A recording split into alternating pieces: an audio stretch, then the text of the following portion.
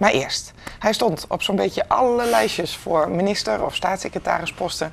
Maar hij zit hier en hij stond niet op het bordes. Gelauwerd VVD'er Henk Hantenbroeke, fijn dat je er bent. Dank. Ehm, ja, ik had om heel eerlijk te zijn gedacht dat je misschien dit gesprek wel af zou gaan zeggen. Na alles wat er de afgelopen tijd gebeurd niet. is. Dat, eh, zou onzin zijn. Nou, nee, als jullie vragen, dan kom ik gewoon. Dat vind ik heel fijn om te horen. Ja. Maar het is natuurlijk wel een, een pittige tijd geweest voor jou. Nou, eh, de zomer was natuurlijk al pittig, omdat we best wel lang en eh, veel hebben moeten onderhandelen. Ja. Met vier partijen is echt heel anders dan met twee. Een hele andere dynamiek, duurde ook ontzettend lang. Nou, dat heeft ook heel Nederland een beetje Ja, meegekregen. ja. Ehm, maar goed, eh, dan komt uiteindelijk die kabinetsformatie. Ja, en dan moet je eh, daarin. eh, en sommige mensen kunnen heel veel functies, sommige die zijn maar voor een paar posities in. En ja, het is inderdaad apart, want daar zie je ze staan. Een kleurrijk stel, zegt Zeker. iedereen. Er zitten twee overijslaars bij: Anke uit Goor en, en Arie uit Zwolle. En die stonden allemaal niet op die en- lijstjes. En, geen Pieter en Nee, geen Han. Nee. nee. Dat is toch wel wonderlijk. ik, Want had, ik, ik had dus wel verwacht, eh, hij wordt de minister van Buitenlandse Zaken. ja, ik denk dat je niet de enige was in Vorige week hebben we nog met een aantal mensen. Nou, Heb die je een moeten. beetje gedaan? Heb, heb ik dan nu verloren? Iedereen, Moet ik iedereen heeft verloren op u afgelopen weken. Ja. Maar het is toch wel heel bijzonder, want als we ook kijken naar de vakinhoudelijke kennis. U bent al jarenlang buitenlandwoordvoerder ook. Ehm, iedereen roemt u om uw dossierkennis. Dat is ook heel fijn om te horen, maar het komt niet alleen aan op vakinhoudelijke kennis. In de eerste plaats, kijk, er komt echt een hele goede minister, er zit nu een hele goede minister van Buitenlandse Zaken. Ik weet dat, want ik ken Halbers Jelsen al heel lang. En ik wist ook dat dit zijn voorkeur had. Ehm, eh, hij is iemand die, als ik in de fractie ehm, eh, over buitenlandse zaken spreek, is hij ook degene die altijd meedoet daarop. Eh, we kennen elkaar al, eh, ik denk een jaar of twaalf. En, eh, dus voor mij is het een veel minder grote verrassing dan voor veel anderen. En hij heeft een ander profiel dan ik. Eh, dat is zeker zo. Ehm, eh, maar goed, dus deze voorkeur, de andere voorkeur die hij had was sociale zaken. Is hij ook heel open en eerlijk over geweest, in de krant ook. Ja, en toen sociale zaken er overduidelijk niet in zat, ja, dan is het niet onlogisch dat hij dan voor die functie in aanmerking komt. En hij is voor ons heel belangrijk. De afgelopen vijf jaar heeft hij de grootste hondenbaan van heel Den Haag mogen doen. Namelijk het leiden van de grootste fractie. Dat is echt een hele zware, eh, Een zware hondenbaan. baan. Misschien een Ja. hondenbaan die u anders eh, nu ook had willen doen? Nee, absoluut niet. Nee. Ik, ik- eh, er zijn sommige dingen die ik, die ik heel erg leuk vind om te doen. En andere dingen die ik minder leuk vind of ook gewoon niet kan.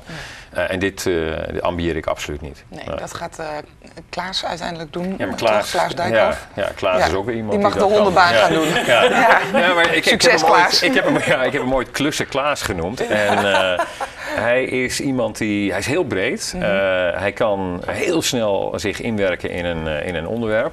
En het, ik, ja, dat is knap. Dus voor mij is dat de oorcategorie. Dat is Ja. de, de, echt van een buitenkool. Eh, Maar het is natuurlijk allemaal begrijpelijk. Politiek werkt ook zo. Dat is een beetje inherent aan het vak ook. Maar het lijken me wel hele spannende weken voor iedereen. Politiek is een keihard vak. En het gaat niet om jou, en dat blijkt. En dat geldt voor heel veel meer mensen. Ik denk dat er meer mensen zitten van... God, dat, is jammer dat deze net aan mij voorbij gaat of niet. Ehm, eh, ik hoef ook niet alles wat dat betreft... is mijn situatie niet zo heel veel anders dan die van Pieter Omzicht. En Pie- Ja. eh, eh, ik vergelijk me daar in, in die zin mee dat Pieter zei... Je, je wilt ook niet op alle functies eh, zitten. Je wilt je expertise, maar ook Je je passie moet je minister worden om een minister worden, maar het zijn op het dossier waar je dat graag Zo zou willen dat. doen. Ik, Ja. ik weet waarvoor ik in de politiek ben gegaan. Ik weet welke onderwerpen waar ik goed in ben. Maar ik weet ook wat ik niet kan. Ik, bedoel, ik heb niet de vermogens van een halve Zijlstra of een Klaas Dijkhoff oprecht niet. En ehm, hebben jullie daar dan nog contact over, Pieter Omzicht en, en u bijvoorbeeld? Ja hoor, we hebben heel hebben veel jullie contact. samen even een biertje gedronken om het verdriet te eh, verdrinken? nou, dat gaan we binnenkort weer even doen. En er is ook heel veel aanleiding voor. Pieter is nu overigens trouwens de voorzitter van de Buitenlandcommissie. Dus hij is ook weer mijn voorzitter. Ehm, en binnenkort zal moeten blijken of dat ook zo blijft. Ja. En, ehm, eh, maar ik heb veel contact aan met hem. of dat blijft of u blijft? Of, eh? Nee, dat ligt aan ja. Kijk, de, alle fracties worden nu opnieuw gezet. Ja. Eh, en dan moet de part- eh, kan iedereen zijn voorkeur aangeven van wat, eh, wat je eh, van woordvoerderschapper zou willen.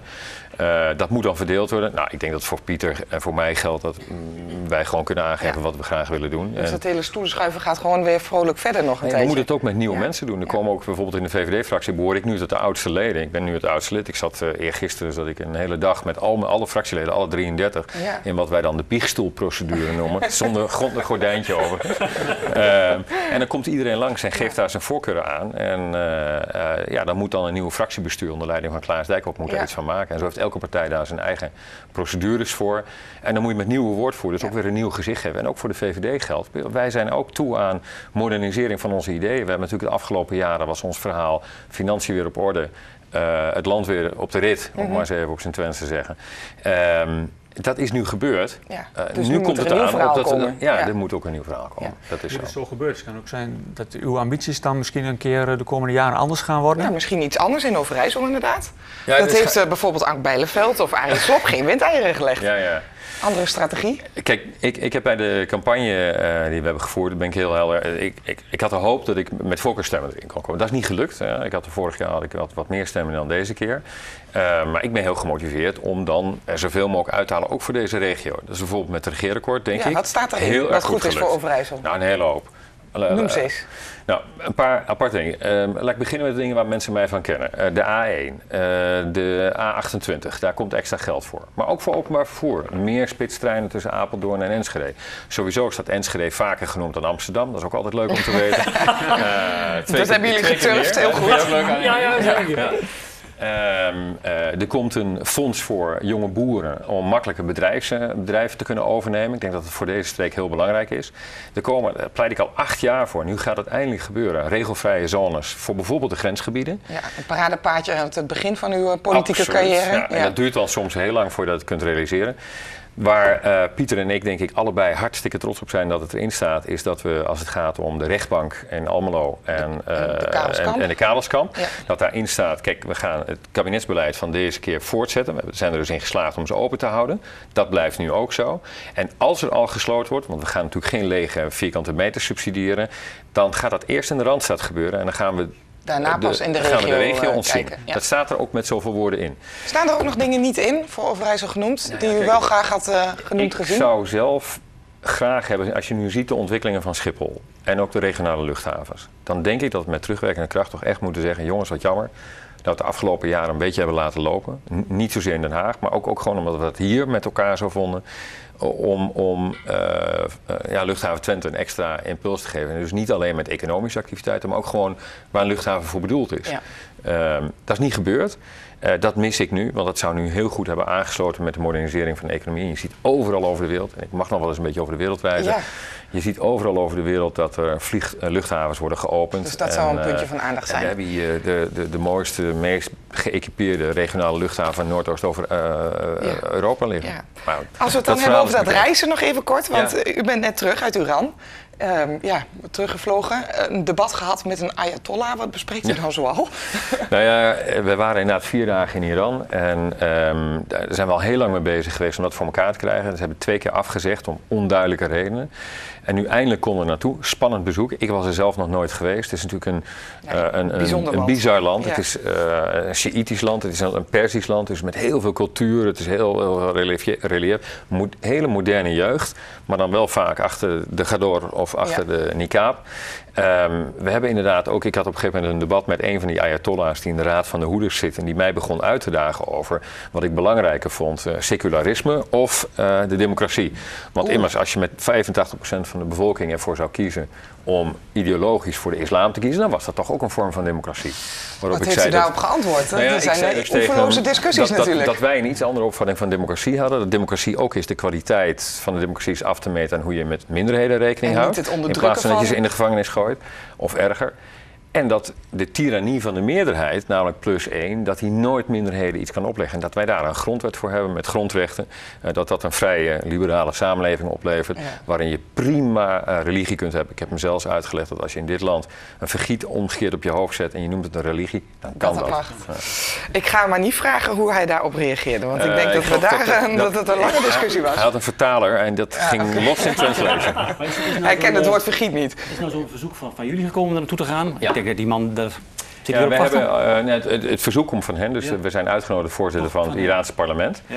We- we- wat maar heel weinig mensen eh, weten, is een parlement waar bijvoorbeeld ook, eh, er zit ook een, een Joodse afgevertegenwoordiger in, er zitten twee christenen in, eh Arameer, ehm, eh, er zitten nog twee mensen van een, een, een andere religieuze denominatie dan zeg maar eh, met een moslim of een Sjiïtische achtergrond.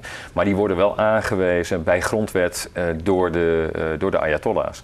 Ehm, dus een echte democratie naar onze maatstaven is het natuurlijk niet. En het is ook in Engeland vanwege de raketten. En, en Daarom. nog Het is natuurlijk ook niet alleen maar debatteren. Want tot slot, u heeft ook Kamervragen gesteld Ja. onlangs over of Nederlandse bedrijven onbewust of bewust hebben meegewerkt aan technologie voor massavernietigingswapens. Daar kwam vandaag een antwoord op. Dat was een schokkend antwoord. hè? Schrikken, ja, behoorlijk. Uh, zeker voor deze streek zou ik bijna zeggen. Want uh, waar de MIVD mee terugkwam, dus de Nederlandse Militaire Inlichting en Veiligheidsdienst, en trouwens ook de AIVD, is dat ze eigenlijk met zoveel woorden, zonder in detail te treden, uh, aangeven dat heel veel technologie uit Nederland weglekt. doordat er te weinig bescherming, te weinig beveiliging en ook een vorm van naïviteit op zit ja, eh, dan moet toch iedereen onwillekeurig, ik vind het vervelend om te zeggen, want ik vind het het meest prachtige bedrijf wat er is. Maar Urenco, eh, begin jaren 80 hadden we natuurlijk met uh, meneer Kaan, ook iemand die, laat ik zeggen, wat, wat bedrijfsgeheimen meenam. En daardoor heeft Pakistan nu een bom. En zie je in die hele regio een proliferatie van nucleaire wapens met ongelooflijk veel instabiliteit ten ja, gevolg. Het zijn niet alleen dingen die ooit gebeurden, maar nu nog steeds. Siemens is daar laatst nog weer een voorbeeld van. Nou ja, Daarom, daarom zitten we daar bovenop. Daarom moet dat heel goed beschermd worden. we hebben een paar jaar geleden in Nederland ook die non-proliferatie-conferentie ehm, eh, gehad, waar Obama uh, naartoe kwam.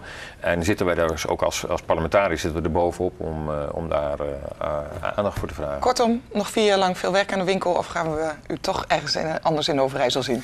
Ja, je kunt nooit, ik, ik sluit nooit iets uit en zeker niet als het om Overijssel gaat. maar ik, voorlopig zit ik hier en ga ik gewoon Staat genoteerd. Bedankt dat je er was, Han ten Broeke.